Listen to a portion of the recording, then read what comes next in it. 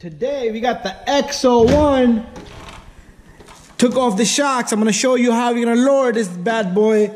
We got some foam tires.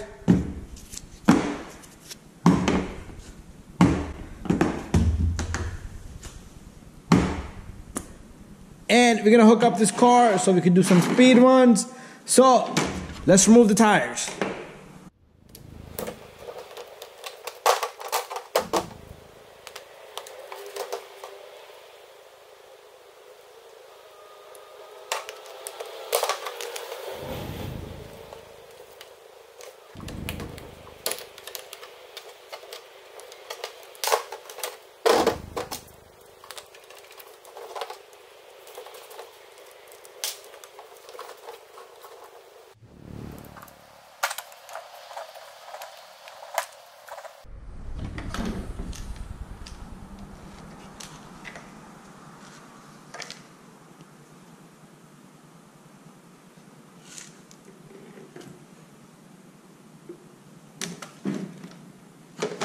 Out your shocks here.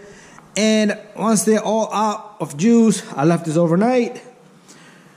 What you're gonna do is, let's pull off this shock. Make sure you have gloves on because it's gonna get messy. All right, we're gonna remove the base here, okay? So what I'm gonna use is, I don't wanna damage the, the, the shaft there. So I'm gonna use a piece of cloth and I'm gonna hold the shaft with my needle nose. And then it's gonna be tough. But oh my god that is tough. Hopefully didn't thread lock that. Alright I'm gonna try to go without a glove because you do have this little spacer because the only part you don't want it, um, this thing to enter that area. But hopefully it doesn't damage there you go. Perfect. Once it loosens up after that, don't worry about it. It's not going to damage nothing. All right. And this little guy is going to come out. Very simple. And then what we're going to do is we're going to slide out the whole uh, shaft here. Pull that out. And what we're going to do is we're going to cut a small piece of this tube here. So that's what I'm gonna do right now. Cut two of them because you want the same size for the other shot. And make sure you cut them flush, okay? Make sure you cut them flush, straight, evenly. All right, what we're gonna do now is, you see this has spacers. If you have extra spacers like that, you could use more spacers, put them on. But we're gonna slide this. This is a fuel line of our nitro cars. That's what I'm using there. We're gonna slide this on and then we're gonna push this back through the bore.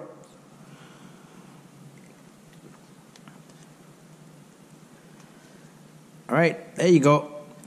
And now we need to put this little guy in.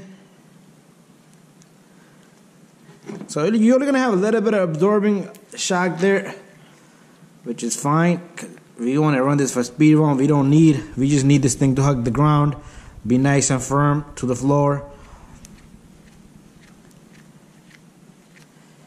And after that you do both of them. Before you put oil do them both put them back on the car.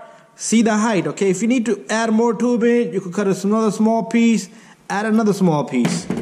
All right so we have that.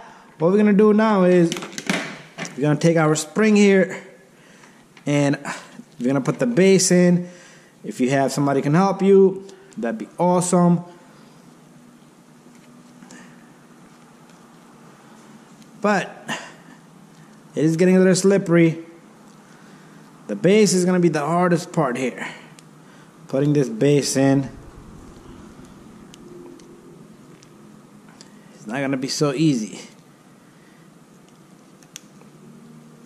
There's not much left in there to work with and plus that spring the force of the spring is making it more tough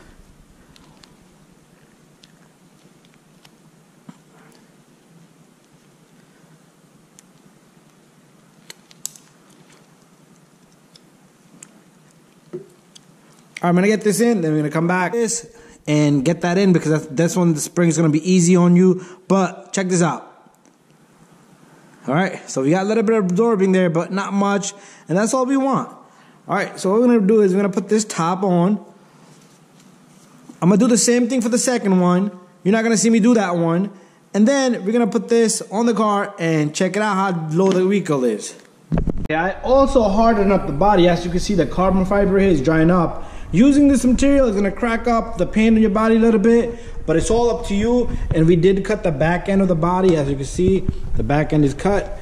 But this is drying. But let's go take a look at our XO1, which is sitting right here all right, so I finished everything. The oil's in there. So you do need to take off this few times, okay? The reason is because it's not gonna um, be perfect the first time. You might have to add more uh, spacing to it, the tubing, but it's pretty much halfway down. Look at the back end, it's more higher than the front, and that's about it, okay? and it's pretty stiff hopefully it doesn't airborne. So this is the material I used it's gonna come with this little guy right here to harden the body. So it's pretty it's gonna make it pretty strong.